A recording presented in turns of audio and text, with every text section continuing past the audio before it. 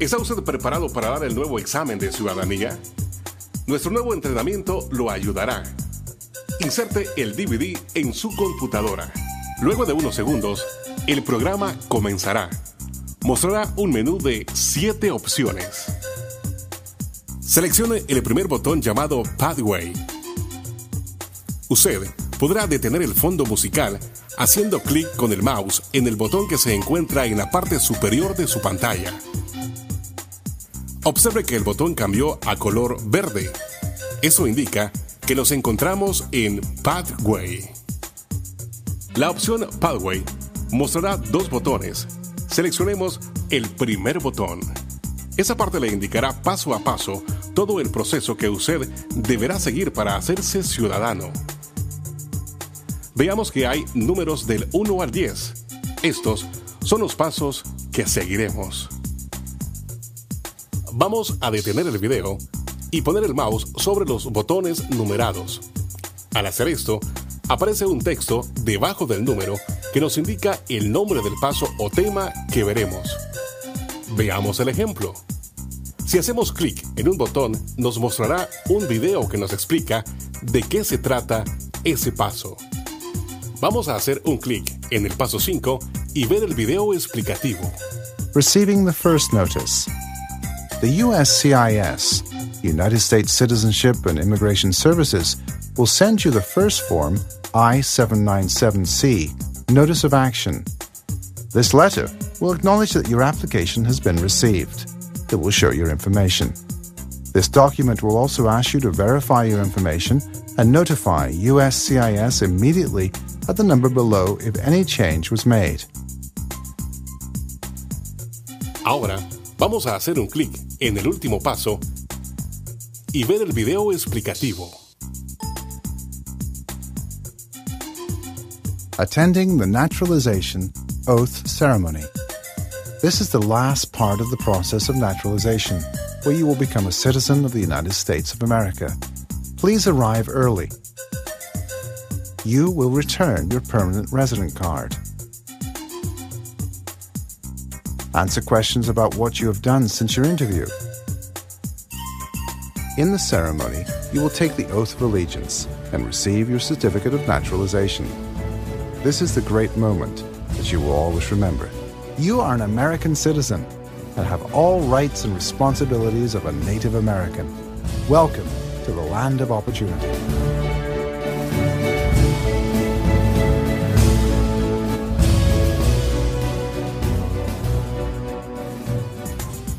Vamos a hacer clic en el botón Back que se encuentra en la parte inferior derecha de su pantalla. Esto nos llevará al menú inicial de Pathway.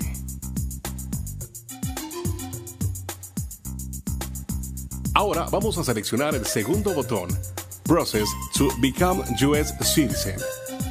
En esa parte se les mostrará en forma gráfica los requisitos para hacerse ciudadano. 1. Be at least 18 years old at the time of filing the application for naturalization. Form N-400. Hacemos clic en el botón Next para continuar con la siguiente escena. 2. Be a lawfully admitted permanent resident to the United States. 3. At time of filing the application, have been a permanent resident in the United States for at least five years. Or for at least three years if you meet all eligibility requirements to file as a spouse of a United States citizen. 4. Have demonstrated continuous permanent residence. 5. Have demonstrated physical presence in the United States.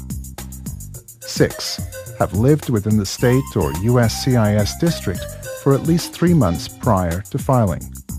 7. Have demonstrated good moral character. 8. Demonstrated an attachment to the principles and ideals of the U.S. Constitution. 9. Demonstrated the ability to read, write, speak, and understand basic English. 10. Demonstrated a basic knowledge of U.S. history, government, and civics principles. 11. Swear an oath of allegiance to the United States. 12. receive a certificate of naturalization. Al final del proceso, mostrará un resumen de todo, como una especie de repaso. Si usted no desea esperar todo el repaso, solo haga clic con el mouse en el botón que dice Full Pathway.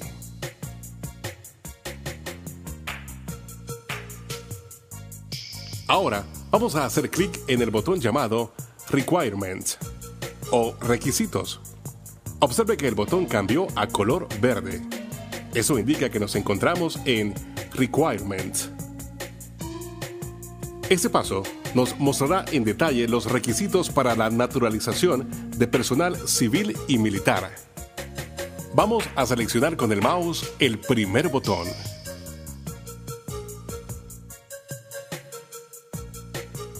Observe que usted podrá leer y escuchar el requisito haciendo un clic con el mouse en el audio. Age. Applicants must be at least 18 years old. Residency. An applicant must have been lawfully admitted to the United States for permanent residence. También obtener más información haciendo un clic en el botón Read More. Para continuar con los requisitos, haga clic en el botón Next, ubicado en la parte inferior de su pantalla. Note que el Servicio de Inmigración y Ciudadanía de los Estados Unidos considera una excepción para los exámenes por incapacidad médica, para lo cual se le pedirá que complete la forma N-648. Hacemos un clic con el mouse en el botón Back y nos lleva al menú Requirement. Aquí hacemos otro clic para ver los requisitos para el personal militar. Vamos a ir a la parte de entrenamiento. Para ello vamos a seleccionar el botón Training. Observe que el botón cambió a color verde. Eso indica que nos encontramos en Training. En entrenamiento, Considera aplicantes en general, así como personas que tienen 65 años o más y están como residentes legales por 20 años o más, para lo cual el Servicio de Inmigración y Ciudadanía de los Estados Unidos les requiere un examen más sencillo. El menú está dividido en cinco categorías. Vamos a seleccionar Flashcards. Esta parte nos muestra las dos opciones que mencionamos antes Seleccionamos Flashcards para aplicantes en general. El programa nos hará la pregunta y usted tendrá que hacer un clic en la tarjeta para tener la respuesta. Veamos el ejemplo. 1. What is the supreme law of the land?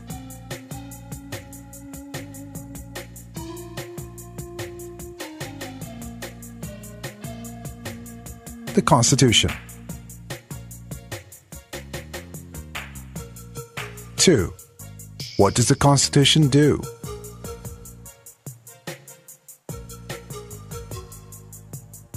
Sets up the government, defines the government, protects basic rights of Americans. 3.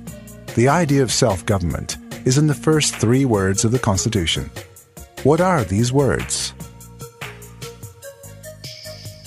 We, the people. Le recomendamos que practique las 100 flashcards varias veces. Practique las preguntas de 10 en 10. Si ya sabe las 10 primeras, continúe con otras 10 y así sucesivamente.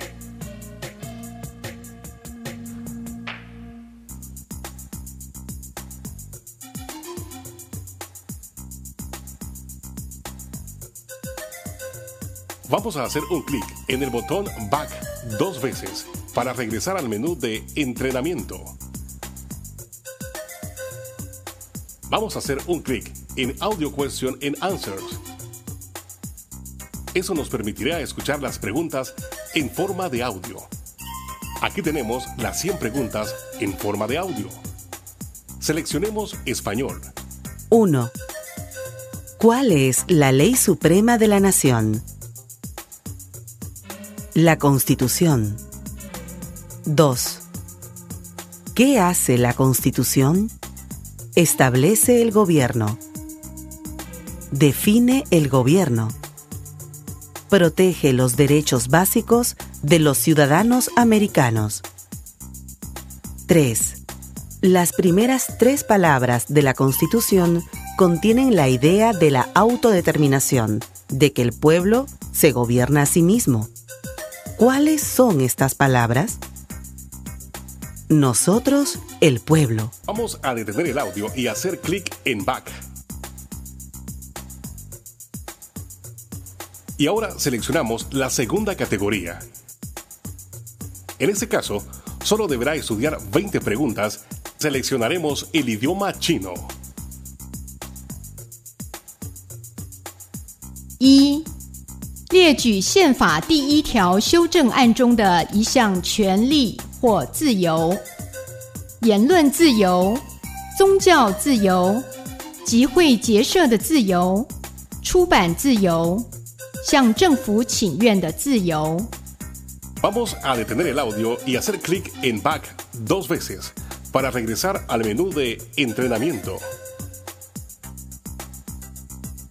Esta forma de práctica lo ayudará muchísimo. Usted recibirá un set de 25 preguntas. Cada pregunta tiene tres alternativas. Usted deberá escoger la respuesta correcta. Si acierta, recibirá el mensaje Very Good. Si no, un mensaje de Try Again. Trate otra vez. Veamos cómo funciona.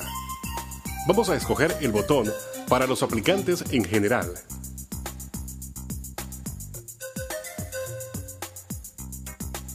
What is the supreme law of the land? Observe que en la parte de abajo muestra un contador que indica el número de la pregunta que se encuentra en el set de 25. Very good. What does the Constitution do?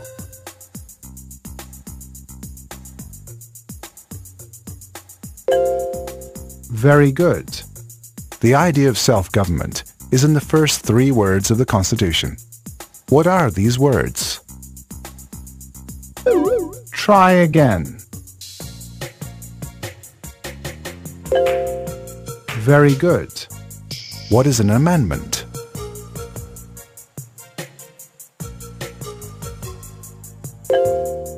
Very good. What do we call the first 10 amendments to the Constitution? Try again. Very good. Al final, usted recibirá un mensaje donde se le preguntará si desea tomar otra vez este set de preguntas o si desea ir al siguiente set. En nuestro caso, seleccionaremos regresar al entrenamiento. Ahora hacemos clic en el botón Back, ubicado en la parte inferior derecha. A continuación, vamos a revisar las Quick Civic Lessons o lecciones de cívica. Note que el Servicio de Inmigración y Ciudadanía de los Estados Unidos no le tomará estos conceptos, pero ha publicado esa información a fin de que usted conozca más sobre la historia y el gobierno de los Estados Unidos. Nosotros hemos diseñado estas lecciones de una forma animada, a fin de que su aprendizaje sea entretenido y efectivo. Veamos cómo funciona. Where is the Statue of Liberty? New York Harbor, Liberty Island. Also acceptable are New Jersey, near New York City, and on the Hudson River.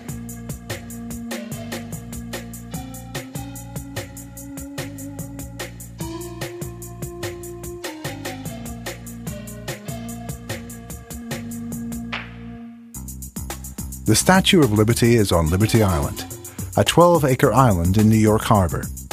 France gave the statue to the United States as a gift of friendship. French artist Frederic Auguste Bartholdi made the statue. It shows a woman escaping the chains of tyranny and holding a torch symbolizing liberty. The Statue of Liberty was dedicated on October 28, 1886, 110 years after the signing of the Declaration of Independence.